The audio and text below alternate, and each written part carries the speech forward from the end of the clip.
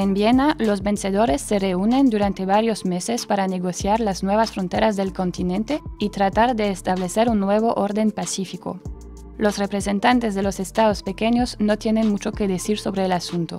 Son principalmente las grandes potencias las que dirigen los debates y comparten los territorios.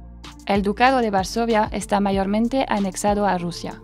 Prusia se expande hacia el oeste, mientras la Confederación del Rin se convierte en la Confederación Germánica. Austria recupera muchos territorios perdidos, mientras que en Italia renacen los antiguos reinos. Se crean el Reino Unido de los Países Bajos y los Reinos Unidos de Suecia y Noruega. Finalmente, la neutralidad de Suiza es reconocida por todos. Desde su isla, Napoleón sigue de cerca los acontecimientos en el continente y especialmente en Francia. Sabiendo que la llegada del rey Luis XVIII es poco apreciada por la población, decide probar suerte de nuevo y vuelve secretamente a Francia.